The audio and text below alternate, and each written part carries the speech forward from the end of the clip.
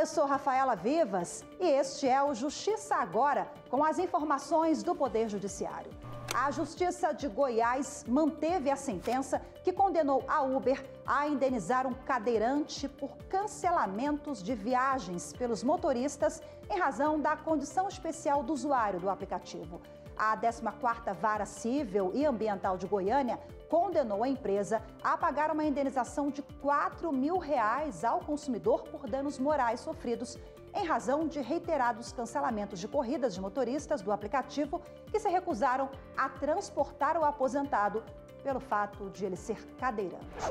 E a Justiça do Acre manteve a decisão que condenou uma companhia aérea a indenizar um passageiro por perda de bagagem.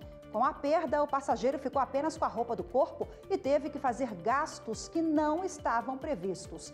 Inconformada com a condenação, a empresa entrou com um recurso para a redução da quantia definida para a indenização. Mas a sentença foi mantida e os direitos do consumidor garantidos.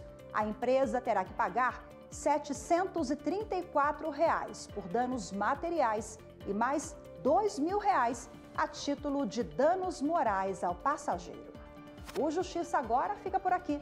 Continue com a nossa programação.